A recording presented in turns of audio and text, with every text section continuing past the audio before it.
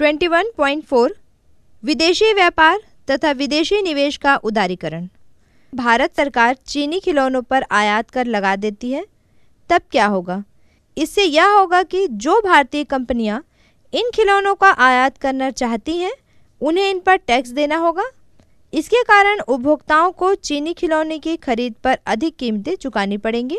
अर्थात भारत के बाज़ारों में अब चीनी खिलौने महँगे हो जाएँगे। जिससे उपभोक्ता उन्हें खरीद पाने में असमर्थ हो जाएँगे और आयात स्वतः कम हो जाएगा। इसका लाभ भारतीय खिलौना निर्माताओं को होगा, क्योंकि अब वे अधिक मात्रा में सामान बेच पाएँगे। आयात पर लगाया जाने वाला कर व्यापार के मार्ग में एक अवरोधक है, क्योंकि यह कुछ प्रतिबंध लगाता है।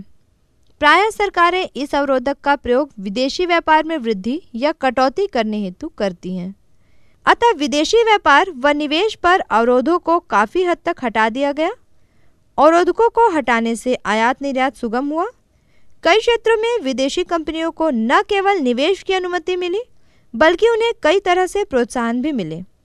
परिणाम स्वरूप अब विदेशी कंपनियाँ भी भारत में अपने कार्यालय व उत्पादन की इकाई स्थापित कर सकती थी। सरकार द्वारा अवरोधों व प्रतिबंधों को हटाने की प्रक्रिया उदारीकरण के नाम से जानी जाती है। इससे उत्पादकों को मुक्त रूप से निर्णय लेने की अनुमति मिलती है। सरकार पहले की तुलना में कम नियंत्रण करती है, इसलिए उसे अधिक उदार कहा जाता है।